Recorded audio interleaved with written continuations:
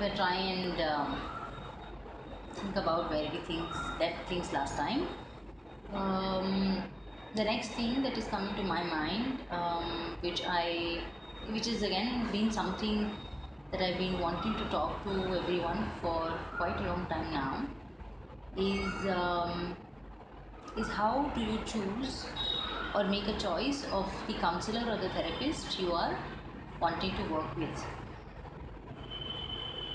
over over the last 10 15 years um, i've had the privilege of meeting um, a range of therapists across different cities in india.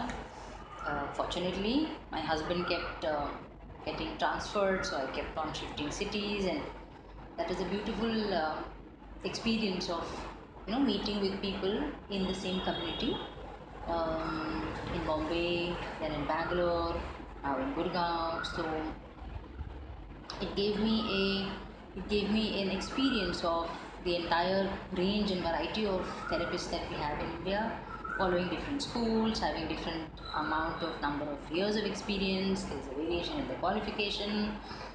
Um, through all of it, I also came across not so good therapists.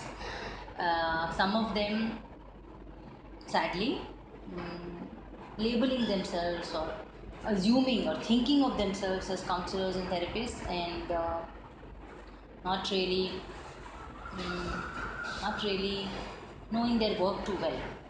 Um, again i don't know whether it is their fault or whether uh, it is a it is a um, it's a resultant of where the whole education and training around this profession is at this point in time. So first of all to give you all a background that um, assume and i always draw a parallel between psychotherapy and medicine because it's it's that analogy will make it very easy for you to comprehend where i'm coming from.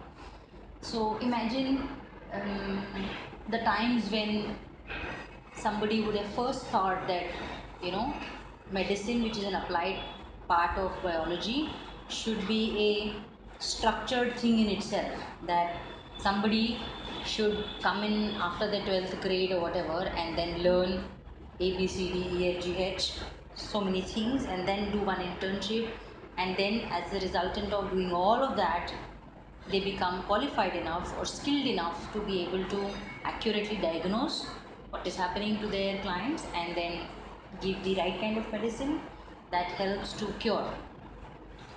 And i'm sure that that the development of that curriculum or the training program would not have happened overnight. So some would, have thought of it conceptualized worked on it and developed it then run it for a couple of times and then eventually come to a conclusion that yeah you know now this is good enough. If you look at medicine then this is something that was already achieved in the 1900s beginning of 1900s we already had qualified doctors you know, so the program was in place vis-a-vis that if i compare even the even the the the parent subject which is psychology then uh, psychology itself is very nascent as compared to biology. It's the the science of psychology itself is you know just around um, 100 years old now. So 1920s is when a, a structured approach to understanding human behavior to understanding our inner world started. And then it is only after 1960s that you know really speaking uh, the different schools the different therapies the different techniques the different skills have started getting developed. So if i look at this applied part which is counseling or psychotherapy then it's only in the last 50 60 years that even in the west it has gotten a form and shape.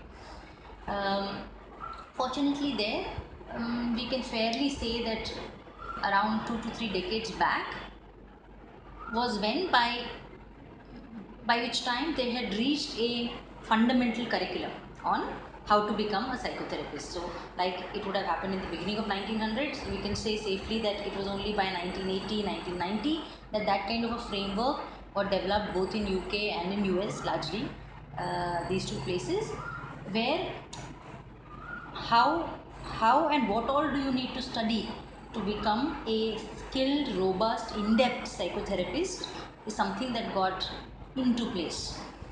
Um, coming back to india i think um,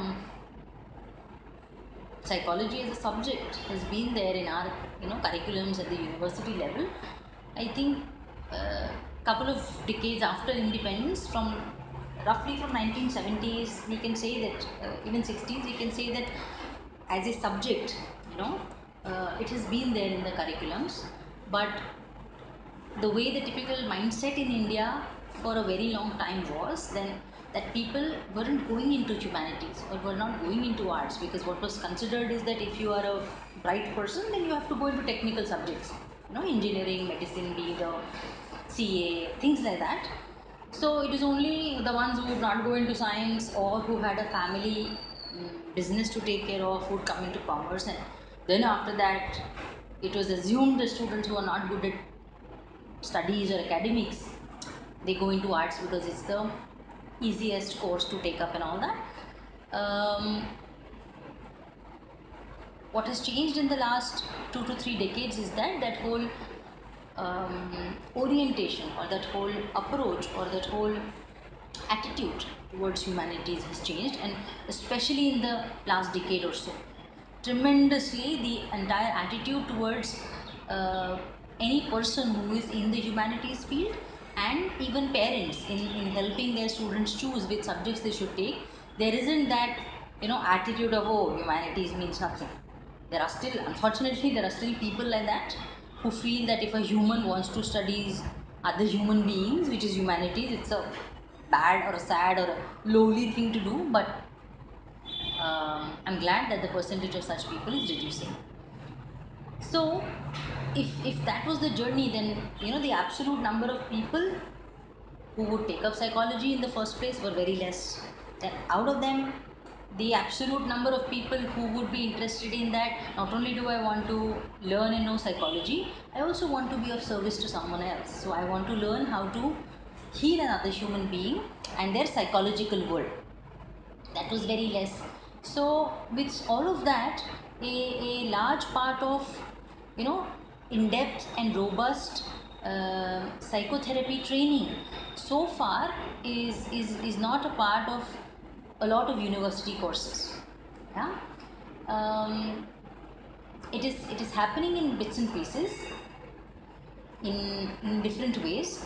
Um, so to give you a global picture how i have experienced or how it is in india right now is that there are psychology courses in universities and uh, those courses are very very uh, robust and good.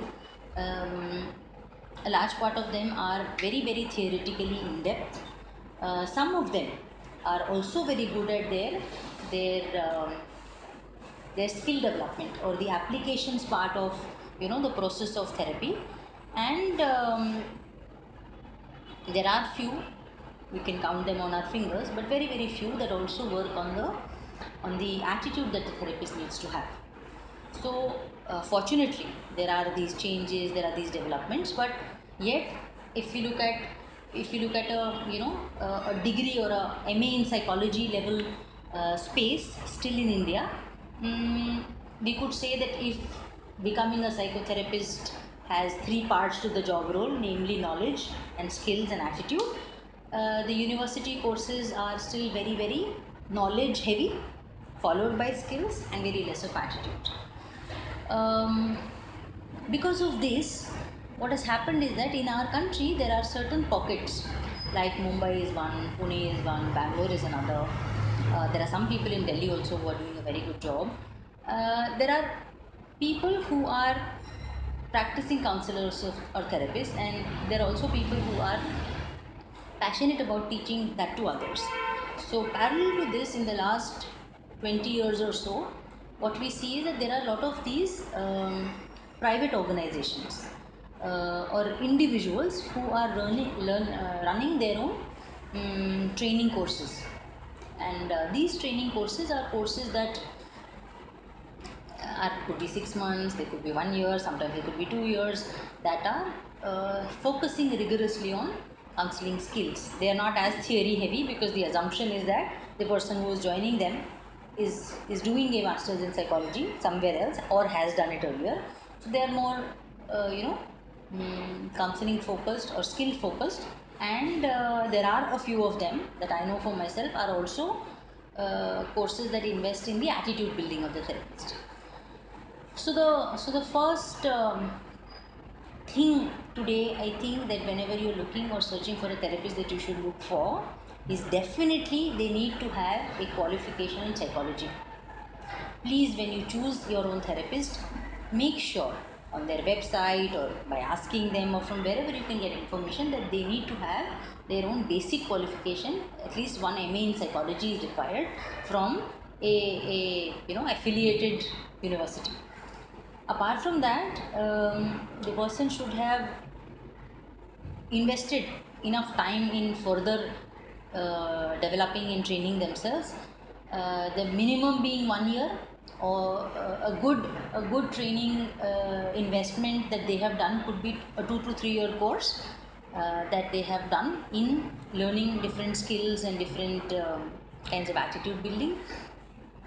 And then um, to look at the number of years of experience that not only are these two things in place uh, but at least um, a two or three year experience if they are independently practicing is necessary. Because you know by then there is enough experience.